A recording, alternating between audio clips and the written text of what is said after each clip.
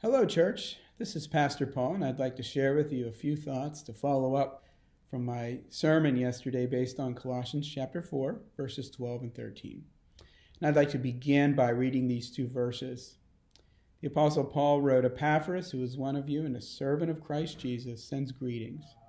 He's always wrestling in prayer for you, that you may stand firm in all the will of God, mature and fully assured. I vouch for him that he is working hard for you and for those at Laodicea and Hierapolis. We call this message a new urgency because in these two verses we see the urgency that Epaphras felt. He was wrestling in prayer and he was working hard for the churches.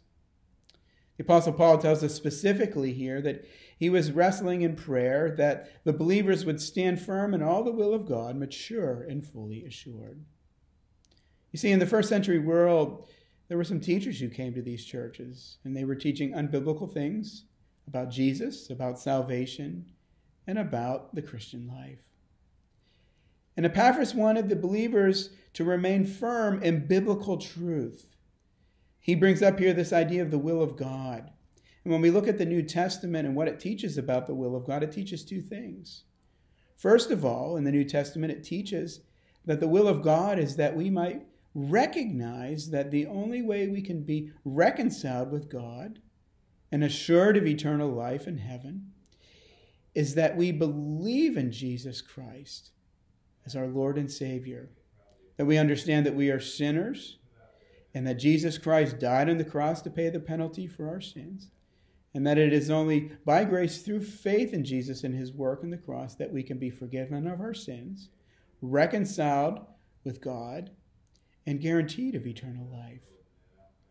And secondly, the will of God refers to this idea of that when we believe in Jesus as our Lord and Savior, that we are called to live for God's glory.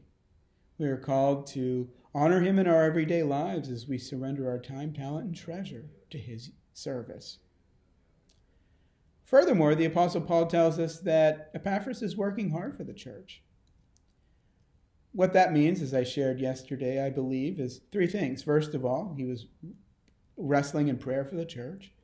But secondly, he was working hard in evangelizing.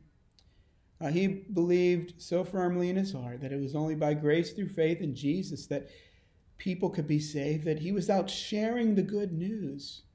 Uh, he believed that these other teachings offered no hope at all.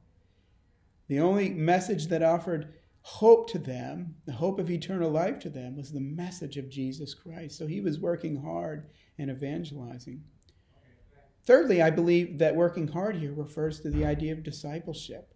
In the Great Commission, we're called not just to evangelize, but to make disciples. What's a disciple? A disciple is someone who is a mature follower of Jesus Christ, uh, someone who recognizes that they, again, need to live their lives for God's glory. They need to surrender their time, talent, and treasure to God's service.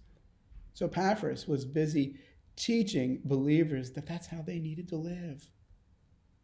So, how are we to apply this message to our lives today? In every age, the church is confronted with false teachings, false unbiblical teachings that offer no hope. And our age is no different today, and I mentioned some of those false teachings yesterday that offer no hope at all. I believe the, uh, the Apostle Paul and Epaphras would challenge us that we need to be wrestling in prayer for one another, that we would remain grounded, that we would stand firm in the truth of God's word. So I'd encourage you today to consider faithfully praying for one another in the church. Each week, the ladies in the office put out a prayer sheet and that's a great way that we can be praying for one another. But I'd also consider you to get a church directory. And each day, pray for different people in the church.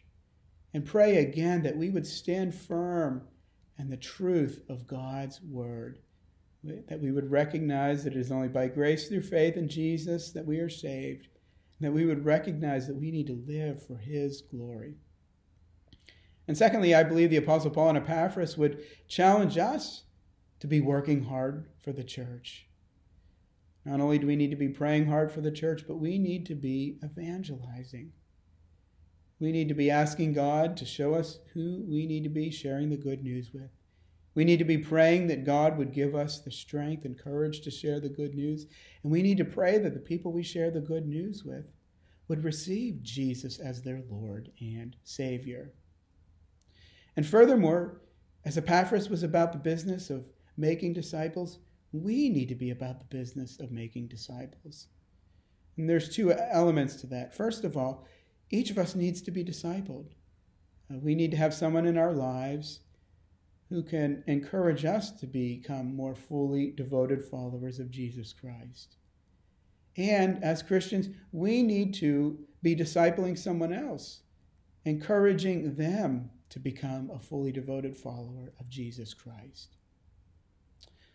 So, church, I trust that these words will be encouraging to you this week, and I pray that we would feel a new sense of urgency as Epaphras felt in his day, we, that we would feel that urgency in our day.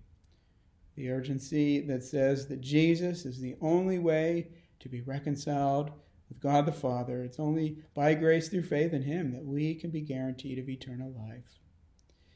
And that we would be fully convicted of that, and that we would wrestle with God in prayer for one another. That we would be asking God who we can evangelize, we would pray that God would help them to receive the good news and that we would be discipled and make disciples of others. So, brothers and sisters in the church, have a great and blessed week. Goodbye.